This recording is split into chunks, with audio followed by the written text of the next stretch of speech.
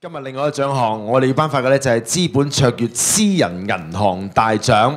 得獎嘅銀行咧屬於瑞士信貸銀行股份有限公司，恭喜晒你哋！現在我哋有請瑞士信貸銀行股份有限公司大中華主管、香港分行行長吳廣生先生上台，代表佢哋公司接受呢個獎項。咁啊，瑞信咧就系一间全球先进嘅综合性银行，咁啊为客户提供私人银行啦、投资银行啦同埋资产管理嘅专业化嘅服务嘅。 Thank you, Capital Magazines. Uh, I just want to say a sim- few simple words on behalf of Credit Suisse. I want to thank Capital Magazine for giving us, awarding us this uh, Best Private Banking Awards.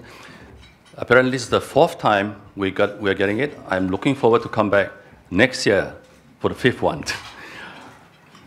In Credit Suisse, uh, we strive to be, provide the best products and services to our private banking clients across Greater China regions. And with this award, we will further commit to this region and to invest further in this region. Again, thank you, Capital Magazine, and uh, I also want to thank our colleagues uh, back in the office to get this award. Thank you.